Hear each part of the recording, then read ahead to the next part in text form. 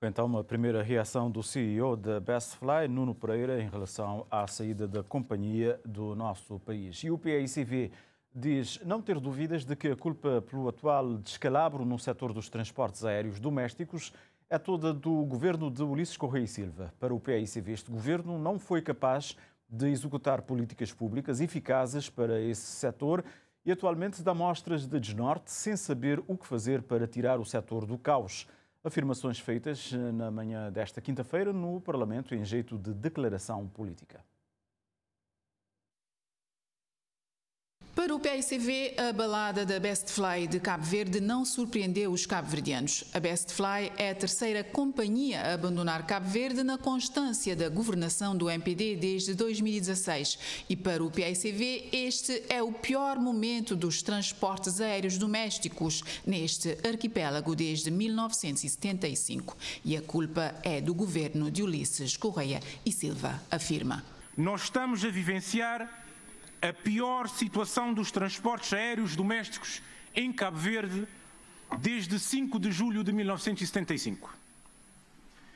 Este retrocesso não é objetivamente fruto do acaso, nem muito menos da responsabilidade das companhias que abandonaram o país em nome dos seus interesses privados, comerciais e de otimização de lucro. A responsabilidade e a culpa por este descalabro e pelo caos no setor dos transportes aéreos nacionais é única e exclusivamente do governo do MPD e do Sr. Ulisses Correia Silva. Um governo que desde 2016 tem dado provas de incompetência e incapacidade de executar políticas públicas eficazes para o setor dos transportes aéreos, afirma o PICV.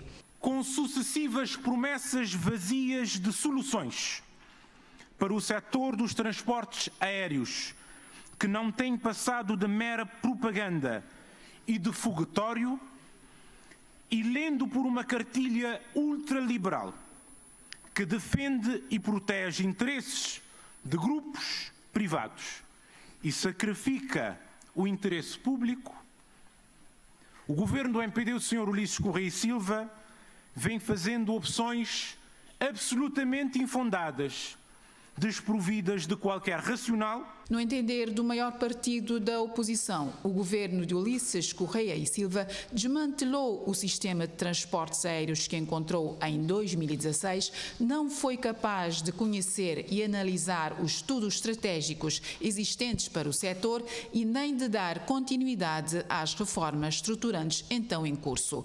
E desde 2016 acabou com a concorrência nos transportes aéreos e instituiu um monopólio de facto, protegeu esse monopólio, caindo várias vezes em contradição.